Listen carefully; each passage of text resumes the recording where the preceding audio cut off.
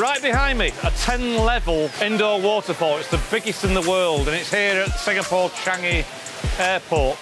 The Jewel, full of glass, reverberant, quite light, but not great place for loudspeakers. Audio is just one of the many requirements that was stipulated by the general contractor Stanley. Renkus was stipulated for the job. Uh, EAS supplied that and commissioned it. You might wonder why audio's needed here, but quite simply, they have a fountain show here every night with this huge well, it's the biggest indoor fountain in the world at the moment. It's also a fully glazed 10-storey building. It's got to cut through that, plus all the visitors here. It's got to cut through a lot of noise, as you can tell here.